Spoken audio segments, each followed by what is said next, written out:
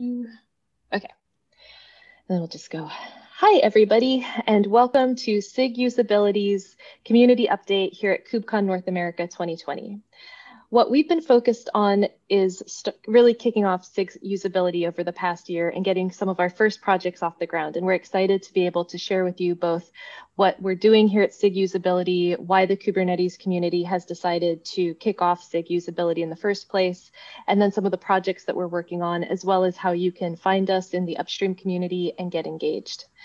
Uh, just to introduce myself really briefly, I'm Tasha Drew. I'm the Director of Product Incubation at VMware, and I am the co-chair of SIG Usability, and I'm also the co-chair of the Working Group for Multi-Tenancy in Kubernetes.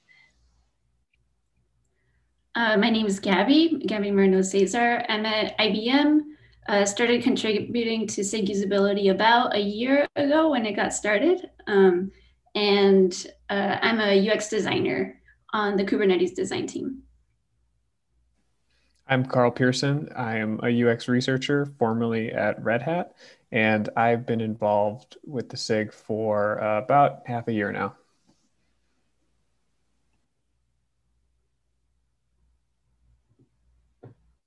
Cool. So, uh, when we kicked off SIG usability, it was for uh, a very sort of uh, silly reason initially, which was that uh, at VMware, we've been working on vSphere and Kubernetes, and we had a bunch of icons that we've open sourced um, as part of a clarity.design project. And so we were wondering what the upstream iconography for Kubernetes was, and if we could work with them to have upstream icons to figure out like if I'm looking at something, is it a container, is it a cluster, is it a node? Uh, and then as we sort of, as I sort of dug through the various mailing lists, kind of ask my question, uh, it started this torrent um, on the mailing list about how we really, as a community, as an upstream Kubernetes community, needed to make usability more of a top level focus. Um, and some, so from from that, uh, we realized that we needed to form a special interest group, which in the Kubernetes upstream community is how we uh, organize contributions, basically. Uh, so here we see back in 2019, uh, NewStack had a sort of evergreen article about how UX is Kubernetes' biggest short-term challenge. Uh, we really see from people who are adopting Kubernetes that uh, getting started and understanding how to use the project and understanding how to manage lifecycle and extensions can all be pretty confusing. Um, Additionally, here's a study from NewStack also in 2019 uh, saying top areas the Kubernetes project needs to address in 2020. And we see at the top really two things that can be pretty tightly coupled to core usability issues, which is core Kubernetes needs to start thinking about the administrator operational experience of operating Kubernetes and also the developer experience of deploying applications and automating their lifecycle on Kubernetes. So from this data and from our own experiences as creators of Kubernetes um, and as users and implementers of Kubernetes, we realized that we really needed to make usability a top level concern in the upstream community uh, to make sure that we were enabling people to really use Kubernetes in the way that it could be if it was a little more user friendly. So where to find us? So uh, in the upstream community, uh, the Kubernetes community is organized into SIGs or special interest groups. Um, and so currently we have three chairs of SIG usability, myself, Gabby, and Himanshu. Um, if you want to engage with us, what I would really suggest the best first step to be is to go to Google Groups. So just type groups.google.com in your browser uh, and look up SIG-usability Kubernetes, and you'll find our, our Google group. Uh, this is really a mailing list, and the mailing list is how we organize everything, such as sending out calendar invitations, uh, having group conversations around various projects we're working on, sharing links, sharing documents. So if you're on the Google group, uh, you'll get the invitations to our regular meetings. You can attend those meetings. They're open to the public. Uh, you'll be able to see our meeting minutes. You'll be able to see our notes. You'll be able to see links to interesting things that we're working on. So I really I don't want to undersell the Google group because that should really be your first step. If you're like, oh, this is a cool group of people working on things I'm interested in, I'd like to kind of understand, maybe start participating. Uh, Google group is really the best uh, first step. The other thing I'd like to call out, uh, and this applies to every Google group, is that when you join the Google group, you will not immediately get the calendar invitation. Um, there's some lag in the system. Uh, and so just, just be patient. It may take up to five days because, you know, maybe there's a carrier pigeon involved in the back end. I have no idea. Um, but you will eventually get this calendar invitation that will uh, allow you to join our regular meetings here at SIG Usability. Um, some other places you can find us, uh, we do have a page uh, on the Kubernetes-SIG. So we have a repo there where we're starting to use the project tracker and highlight some of the work that we're working on. Um, and so uh, that's a good spot to kind of check out. Um, then we also post all of our videos to YouTube. Um, you'll find these meeting notes, the link that I posted here. Um, you'll also have uh, edit access to when you join our Google group. Uh, and finally, there is a Kubernetes Slack where all of the upstream maintainers have various channels for their SIG and um, different organizing functions. So you can join the Kubernetes Slack channel, and then we have a SIG usability channel there where you can also talk to us. Um, so TLDR, join the Google group. Um, the link's at the bottom of this page. Uh, we'd love to see you at our meetings, uh, and we definitely are always interested in seeing new ways that people seek to address and improve um, upstream projects usability, um, and also uh, involve you in some of our projects. Um, I'm now going to hand over to Gabby uh, to lead us through something that we've been working on recently. Thanks, Tasha. Uh, so I'm going to be giving an overview of one of the projects that we have um, going on. Uh, we're calling it our Jobs to be Done study. Uh, a little bit of background first, just about you know my open source contributions. Um, I hadn't contributed to open source before, and so about a year or so, um, you know, this opportunity came up, so usability started, um, and I just saw it as a really cool opportunity to be able to um, do this type of user research um, as part of open source. And with Tasha's help and Carl, um, we've been able to put together uh, this really great team around this project. Um, the main questions that were that jobs to be done is kind of trying to answer is one like who's using Kubernetes, um, but mo most importantly, like for those people, what are they trying to achieve with Kubernetes? Um, you know, Kubernetes is the technology, but like, what are they trying to do? And, you know, what other options did they consider before deciding on Kubernetes? Um, how did, they, once they do adopt Kubernetes, how do they go about kind of like working towards um, that objective or that goal? Uh, and ultimately, at the end of this, we're trying to um, figure out what are the top opportunities for, um, for the open source community to be able to improve Kubernetes. And we have a pretty uh, good set of people here. Um, myself, Tasha, Carl, Josie from Pivotal, and then Boaz as well. For those of you that haven't heard of Jobs to be Done, um, you know, this is kind of like the my favorite way of explaining it is that um, people don't want a quarter inch drill, uh, drill being the technology, they want a quarter inch hole. Uh, so, you know, an example of this could be like if someone's trying to drill a hole and they had an adjustable lightsaber uh, to, to do that, you know, they would buy the lightsaber instead of the drill.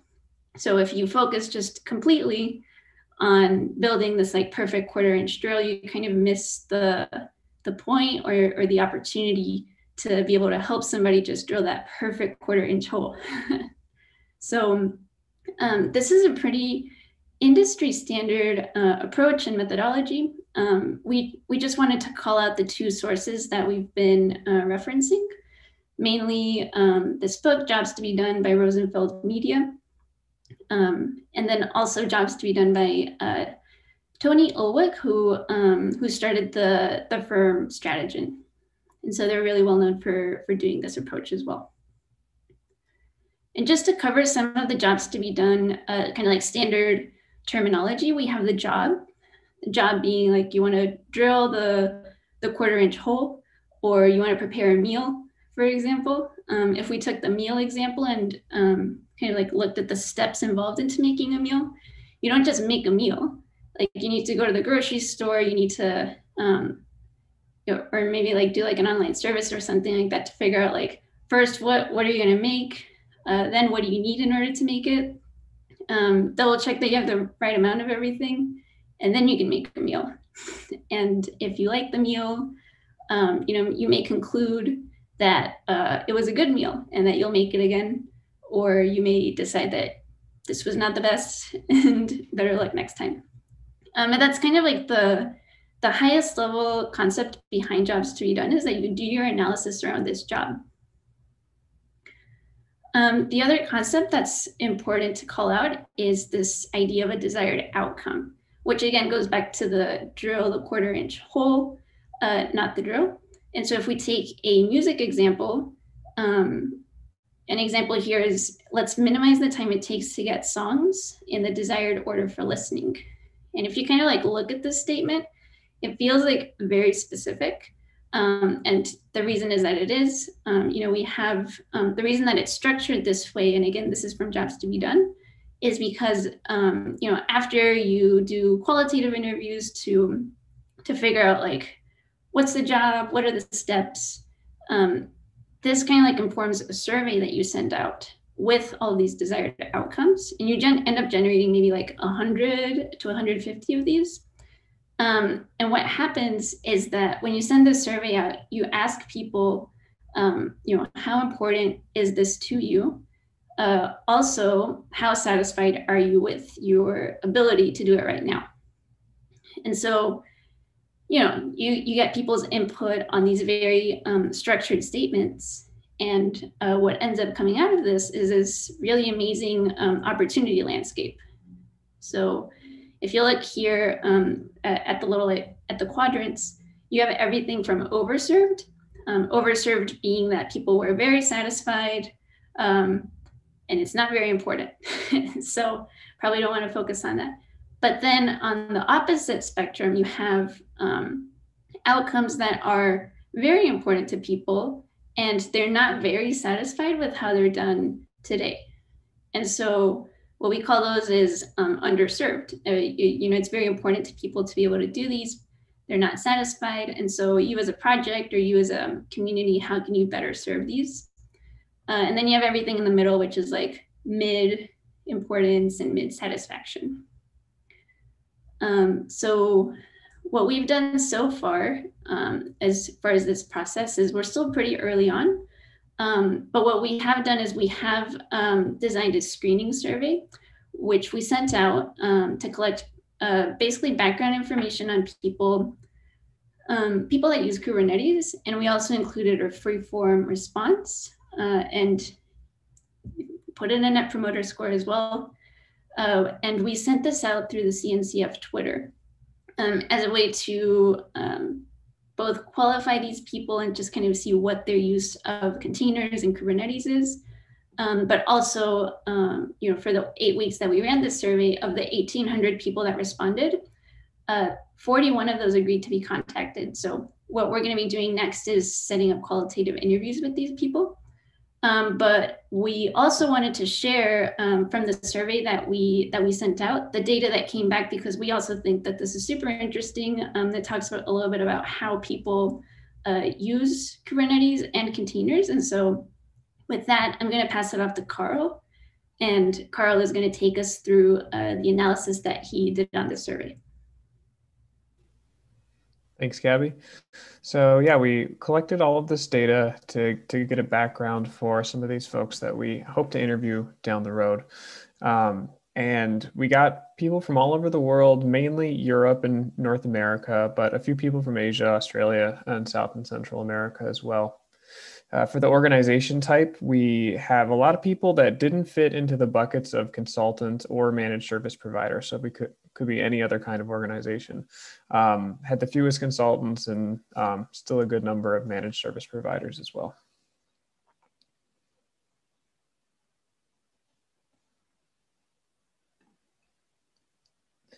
And we also looked at people's job function and their role. So the job function is on the left and the role is on the right.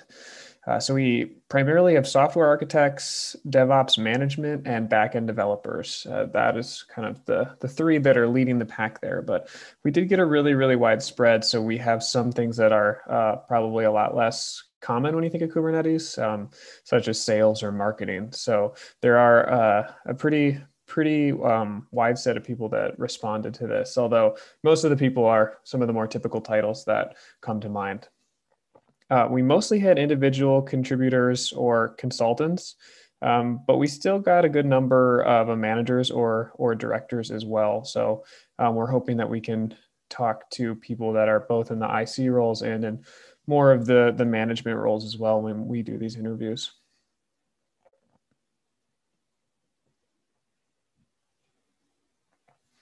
For the environments that these folks had, um, by far and away, people were running quite a few machines. So our biggest bucket was uh, 5,000 or more machines, and uh, that's how most people responded. So um, a lot of people were in that highest bucket. Uh, the ones that were lower are kind of uh, surprisingly evenly spread. So if we end up running a survey like this again, I imagine we might, um, you know, maybe break it up into five to 10,000 and then more than 10,000. So people are running a lot of machines in their Kubernetes environments.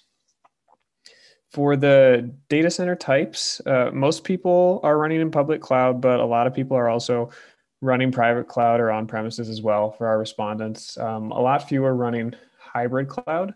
Um, and one person uh, wrote in a response bare metal kubeadm which i would imagine would probably end up being bucketed with um, private cloud but yeah mostly public or private hybrid is definitely there but not as strong as the other two We also looked at activities, so what people are actually uh, doing with Kubernetes when they're working in it. So uh, this sort of teal blue color is when people are very involved with the item. Red is when they're somewhat involved, and orange is when uh, they're not at all involved. So the things that people were most likely to be involved with were working with infrastructure resources, researching, evaluating, purchasing new tech, monitoring and troubleshooting applications, managing deployment pipelines, managing a cloud platform, developing software, and architecting software. Uh, people were less likely to be involved in working with AI or machine learning systems, and um, people were kind of just somewhat involved with uh, managing data processes, which I imagine is somewhat aligned with the folks that actually are working more with the AI and ML systems.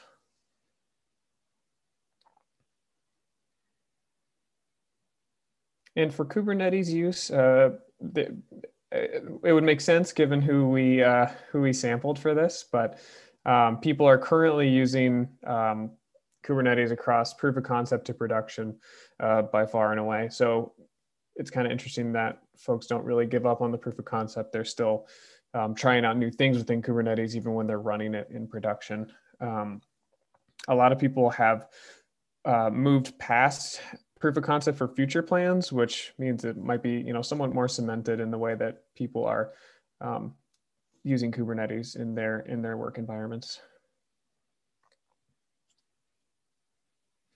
And so we also looked at what resources people use to learn um, about Kubernetes. Documentation is uh, very, very strongly in the lead here. Um, but everything else also has um, a good showing. So these other ones are, are fairly even, but Twitter is pretty common. This might be a little biased because we did send this out via Twitter. Um, but everything else is again pretty even. So people are going everywhere from YouTube to Stack Overflow. A lot of people wrote in um, other responses, and they were more likely to mention uh, specific resources in those other comments. So maybe like a specific person on YouTube or a specific book or something like that. But um, documentation is still definitely the leader where people are going to learn about Kubernetes. And finally, uh, the net promoter score is something we asked about. So you've probably seen one of these um, multiple times. It's where a company will email you or give you a pop up and it'll say, How likely are you to recommend our product to a colleague or friend? And then you answer on a scale of uh, zero to 10, 10 being um, more likely to, to recommend that product. So this is a really, really common uh, marketing or customer experience measurement to gauge general sentiment towards a brand or product. And it's calculated in this way where if people answer a nine or 10, they're called a promoter. This is our green bucket. Uh, passive is seven or eight, and that's kind of the middle bucket. And then detractor is zero to six. And the way that you calculate this score in the industry standard way is you kind of throw out the passives, uh, you take the percentage of promoters, and then you subtract the percentage of detractors, and uh, you end up with this percentage score. And so our percentage score that we came up with for Kubernetes is 62.5. And the scale actually goes from negative 100 to positive 100. So this is fairly high. And considering across uh, most industries, this is actually a super, super high NPS score, which is really interesting.